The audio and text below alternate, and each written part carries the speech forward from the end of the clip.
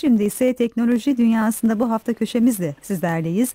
Dijitalhayat.tv koordinatörü Bilal Eren telefon hattımızın diğer ucunda. Hoş geldiniz. Hoş bulduk. Nasılsınız? Çok teşekkür ediyoruz efendim. Biz iyiyiz. Siz nasılsınız? Sağ olun. İyi yayınlar diliyorum. Teşekkür ediyoruz. Ee, günümüzde e, teknoloji dünyasında gün geçmiyor ki yeni bir haber almayalım. Onlardan e, yenilerini şimdi sizden öğrenmek üzere uzatıyoruz mikrofonlarımızı. Buyurunuz. Evet her perşembe e, bu saatte haftanın haberlerini derliyoruz sizin için. Bu hafta da ilginç haberler var. Dinleyicilerimizin ilgisini çekecektir. E, hayatlarında değişikliklere sebep olacaktır. E, böyle haberler de e, ele alıyoruz. Hı hı. Editör arkadaşlarımız. E, oyun merakları için bir haberimiz var. E, özellikle internetten oynanan oyunlar genç yaşlı demeden sadece gençler için değil birçok orta yaş, orta yaş üzeri de çok e, rağbet gösteriyor. Onlar için bir haber var. Dünyanın en büyük oyun fuarı Köln'de kapılarını ziyaretçilerine açtı. Aynı zamanda internetten de bu etkinlikler takip edilebiliyor. Ben e, özellikle e, bu işe meraklı olanların e, takip etmesini öneriyorum. 45 ülkeden 45 ülkeden 800'den fazla oyun üretici şirket katılıyor. Hepimizin bildiği PlayStation, Xbox, Xbox gibi e, e, firmalar da katılıyor ürünleriyle beraber. Hı hı. E, ve ilginç rakamlar var. Bilgisayar ve video oyunları internet üzerinden indirilerek hala yaygın şekilde e, kullanılıyor ve gittikçe de artıyor. Mesela bir rakam var. 2015'in ilk çeyreğine de geçen seneye göre %25 artış var internet oyunlarının, internet üzerinden oynanan oyunların e, grafiğinde. Hem satın alınmasında hem de oynanmasında e, bu ilginç bir e, giderek de artan istatistik. E tabii cep Ee, telefonları da arttıkça, e, oyun yüklemeler de arttıkça sadece internet üzerinden değil cep telefonları aracılığıyla da rahatlıkla her yerde, her koşulda e, oyunlar Çok- oynanıyor. Hem gençler hem Çok doğru. Çok doğru Yaşlılarca. bir tespit. E, akıllı telefonların artık telefondan başka birçok işe yaramış olması. E, oyun da oynayabileceğiz. Geniş ekranlar, işte ak, e, uzun pil süreleriyle Hı hı. beraber e, e, çok renkli ekranlar, güçlü kuvvetli makineler ve oyun da oynanabiliyor. Hepimiz mutlaka bir oyun oynuyoruzdur. evet. E, çok güzel bir tespit yaptınız. Çin'den bir haber var. Hı hı, buyurun. E, ülkede e, online karakol isimli bir proje başlattılar.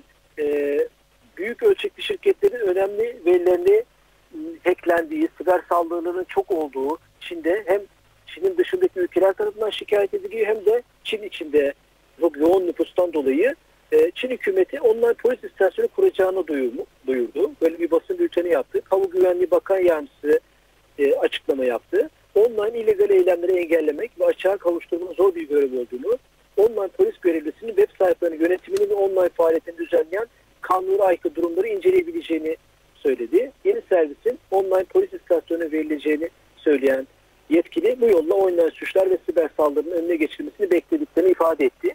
Şunu söylemeye çalışıyor. Olaylar olduktan sonra değil de polisin görevi aslında bir bakıma önleyici Hı hı. e, e, önleyici bir görevi vardır. Yani suç olmadan e, işte çeşitli denetimlerle internette öyle bir e, hızlı bir şekilde e, suç yayılıyor ki iyilik veya kötülük diyelim.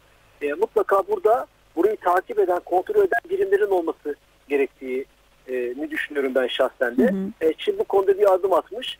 E, hızlıca daha suç olmadan hesapların, internet sitelerin, bloklarının e, tespit edilmesi yönünde online karakol projesi başlatmış. Türkiye'de de olur mu ne dersiniz?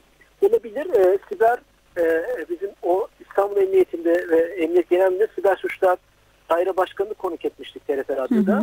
E, bizim devriye polislerimiz var demiştir. Yani hani sokaklarda polisler nasıl e, Devriye geziyor. Hı hı. evet, güvenliği sağlamaya çalışıyor veya e, işte e, suç teşkil edecek şekilleri görmeye çalışıyor. E, suç yapacak insanlar o devriyeleri gördükçe çekiliyor. İşte çevirmeler vesaire. Aynı şeyin internette de olması gerektiği e, söylemişti ve böyle bir çalışma içinde olduklarını e, ve e, online devriyeler oluşturduklarını söylemişti. Detayları çok hakim değilim ama e, Türkiye'de böyle bir çalışma var. E, çok önemli ve Evet gerekli çok olumlu bir gelişme gerçekten. Evet, aynen aynen öyle. Üçüncü haberimiz dijital yayıncılıkla ilgili bir şey. Araba meraklıları bilirler. Top Gear diye BBC'de çok ünlü bir e, üçlü, üç kişinin sunduğu e, bir belgesel vardı. Arabaları tanıtarak bir şov yapıyorlardı. En son model arabaları veya Hı hı. klasik arabaları. Top Gear isimli bir şey. Hatta Türkçe'ye de çevriliyordu bizim kanallarımızda da gösteriyordu. Bu, bu e, e, son bulmuştu programı. Çok ilginç bir gelişme oldu. Amazon e, bizim bildiğimiz Amazon Hı hı. e, yeni bir kanal kuruyor Amazon Prime diye. Orada bu e, e, programın yapımcıları ve sunucularıyla anlaşma imzaladı. Yani internet üzerinden yayınlanacak bu program çok da ciddi. 3 yıllığına 250 milyon dolar gibi dev bir rakama Oo, evet. anlaşmışlar. e, meraklıları bu programı Türkiye'den de biliyorum ben. Çok meraklısı var. E, e, araba meraklıları bu programı Amazon'dan 2016 yılı ile itibariyle seyredebilecekler. Dünya üzerindeki en internet üzerinden e, program yapı- yapılacak en büyük parayı vermişler. Hani Evet ama demek ki kendilerine güveniyorlar. Hani izlenme ola- e, olasılığının çok fazla olacağını hissetmişler ki o kadar büyük paralar yatırmışlar değil mi? Evet aynen öyle. Ee, çok izlenen bir programdı. Ee, ve tabii bu kanal içinde, kanalı üyelik, üyelik içinde internet üzerinden bir ücret yatır, yatır, yatırılacak. Hı hı. 79 sterlinmiş. Herhalde bu Türkiye'ye e, çevrilince 4, 400 TL'nin üstünde bir şey olacak. 2016 yılında başlayacakmış. Şimdiden duyuralım. Hı hı. E, Apple kullanıcıları için e, bir uyarı var. E, hem akıllı telefon hem masaüstü bilgisayar hem tablet için. Biliyorsunuz Apple kendisini devamlı şöyle e, lanse ediyor ve gerçekten öyle. E, çok güvenli, virüs bulaşmayan e, bir işletim sistemine sahip olduğunu, cihazlara sahip olduğunu hep iddia etti. Gerçekten de öyle. Şu an e, bir Thunder Strike 2 isimli bir zararlı yazılım e, virüsü, solucanı daha doğrusu. Çok teknik de e, anlatmak istemiyorum dinleyicilerimiz açısından. Hı hı. Ee, bu bir duyuruyla Apple tarafından duyuruldu. Böyle bir solucan yani virüs makinelere bulaşmış bunun için çalışıyoruz denmiş. Dikkat etmekte fayda var.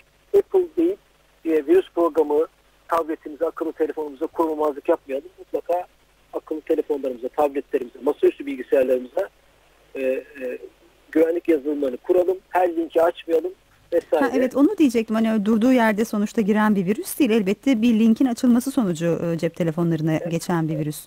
Evet birkaç tane yolu var bunun. Ee, dışarıdan bir bir şey takabilirsiniz.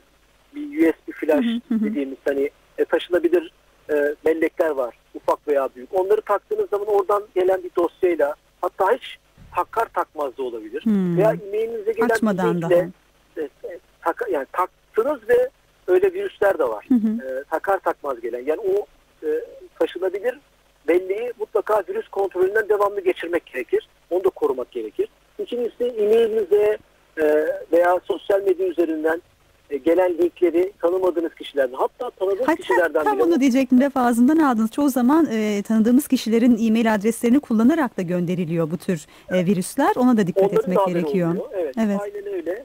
E, yani çok abartılı veya çok tanıdık şeyler olmadıkça e, emin olmadıkça linkleri açmamak lazım. Açsanız bile bilgisayarınızda veya özellikle bu son dönemde akıllı telefonlarınızda, ve tabletlerinizde de virüs programı mutlaka olmalı. Bunlar ücretsiz olarak internette mevcut. E, mutlaka bunu yapmak lazım. Apple kullanıcılarına duyurulur. Hı hı. Bizim ülkemizden bir haber var. Fatih Projesi ile ilgili. Ya 5 Aralık'ta eğitimde Fatih Projesi eğitim teknoloji zirvesi yapılacak Ankara'da. Bunun duyurusunu geçtiler.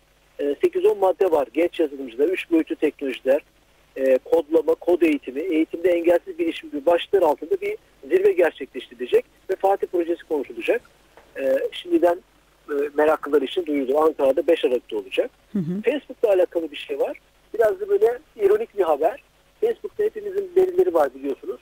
Ee, Amerika'da bir site, The Data Drive sitesi, Facebook'taki verilerimiz kaybolursa ne olur diye bir senaryo üzerine e, Yedeklemeye mi gitmişler? E, Facebook komple çöktüğünü düşünmüş. Hatta şöyle diyor, Facebook kurucusu biliyorsunuz Zuckerberg'in e, e, kılını pırtını boğunu toplayıp şirketten kaçtığını düşünmüş ve Facebook'un e, tamamen iflas ettiğini veya kapılarını kapattığını o zaman Ne olur diye ya, düşünmüş. ne olur 8 milyon kullanıcının verileri ne olur diye böyle bir senaryo üzerinde çalışmış. Tabii iyi niyetli Ee, olduğunu düşünüyoruz biz değil mi? Kötü niyetli değildir umarız. Hayır kötü niyetli değil hem bir mizah katmaya çalışmışlar Hı hı. hem de biraz ironik şekilde yaklaşarak ya hayatınızın her şeyini Facebook'a yüklemeyin. Başka yerde de yedekleriniz olsun veya hayatınızı Facebook'a endekslemeyin. Bugün Facebook olur yarın ismi başka bir şirket olur. E, hayatın merkezine oturtmayın demek istiyor. Hı hı. Bu şirket kapanabilir, başka bir şey olabilir. E, bence güzel bir proje üzerine çalışmışlar. Hı hı. İzrail yollarla hesaplaşmış. Ne kadar bağımlı olduğumuzu göstermiş. Kapanırsa ne olur diye. E, başka bir haber var. Spam e-postanın sayısında düşüş demiş. E, ünlü bir güvenlik devi var, devi var. İsmini söylemekte sakınca yok. Virüs programları da meşhurdur Symantec. Onun hı. yaptığı bir araştırmaya göre Haziran 2015 raporu var. Bu istenmeyen e-mailler dediğimiz, e, spam dediğimiz e-mailler e, işte kutumuza sızan istenmeyen e-postalarda bir düşüş yaşanmış. Eylül 2003'e kadar 2003'e göre e, yaklaşık %50 düşmüş. Güzel bir haber. Hı hı. Eskisi gibi rahatsız edici e-mailler gelmiyor. Veya işte e, virüs programları bunları engelliyor e, demiş. İngiltere'den iki haberimiz var. Vaktimiz var değil mi? Tabii buyurun, için? buyurun. E, İngiltere'den iki haberimiz var. Bir tanesi bir araştırma. İngiltere'de sosyal medya kullanımının en büyük gerekçesi neymiş? Aslında böyle araştırmalara Türkiye için de ihtiyaç var. Ama bizde bu tip araştırmalar yapan şirket sayısı çok ama bu konulara çok ilgilenmiyorlar. Buradan duyuru yapmış olalım. Hı hı. E, bugün hatta e, bir yerde okumuştum.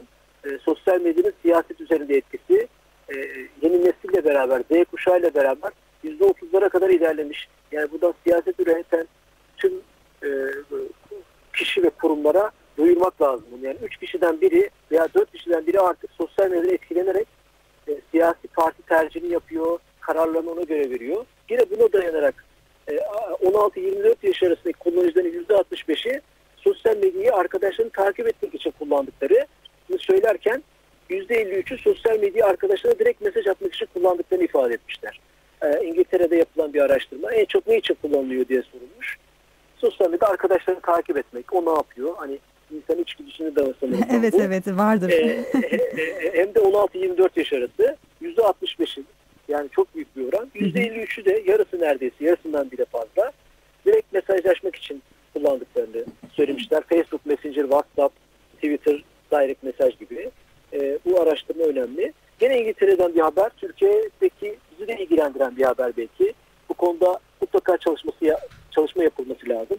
Ee, İngiltere'deki parlamento yeni bir internet yasasının üzerinde çalışıyor. Unutulma hakkının tüm mecralara gelmesi için e, böyle bir yasa çıkaracak ve şirketlere bunu sunacak ve şirketlerin bunu kabul etmesini isteyecek. Hı hı. Unutulma hakkı şu, bizim e, internetteki izlerimiz bilerek veya bilmeyerek yıllar yılı oluşan internetteki izlerimiz attığımız başa mesaj koyduğumuz bir fotoğraf, yazdığımız bir yazı vesaire bunlar hiç silinmiyor ve linkler vasıtasıyla çeşitli yerlere dayı- dağılıyor. Evet. Ama ileride bu e, isteyerek veya istemediğimiz olarak koyduğumuz e, bilgiler başımıza dert açabilir veya olumlu veya olumsuz başımıza şeyler getirebilir. Bunun çok örnekleri var.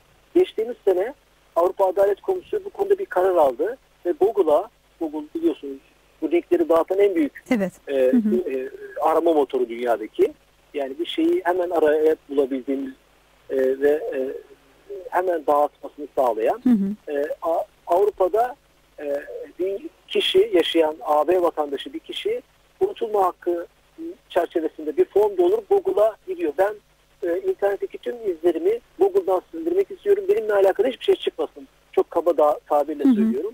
Başvuru yapıyor ve Google bunu kabul edecek. Ediyor Ama ve- sanıyoruz bu e, Türkiye için geçerli değil değil mi? Türkiye henüz Evet, hala dahil başlamadı. olmadı. Hı hı. hala başlamadı Türkiye'de. Türkiye'den de Türkiye'de başlayacağını duyurmuştu ama an, şu an sadece AB Avrupa Birliği içinde geçerli. İngiltere bu kanunu e, e, baz alarak Facebook ve Twitter'ın da bu işi yapması gerektiğini e, düşünmüş ve bir kanun tasarısı hazırlıyor. Yakında bunu e, yayınlayacakmış ve e, Facebook ve Twitter'da da unutulma hakkından e, yararlanacak İngiltere vatandaşları. Belki Evet, sonra bakalım. o AB Hı hı. Türkiye düşecek. Yani- vatandaşları ne zaman yararlanacak? Asıl e, yani- merak yani- ettiğimiz o.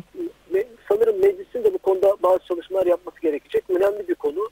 Ee, en basitinden e, üniversite sonrası işe gidecek, iş, iş görüşmesi yapacak genç arkadaşın e, CV'sini hazırlayıp yöneticisine veriyor ama o yönetici ilk Facebook Google'dan ismini bakıyor, araştırıyor değil mi? ismini araştırıyor. Ee, gençken yaptığımız birçok hata, birçok sıkıntı olabilir. Delikanlılıktır. Evet. Ee, ama e, bunların iş, iş yaşamımızı e, çok etkilememesi lazım diye düşünüyorum.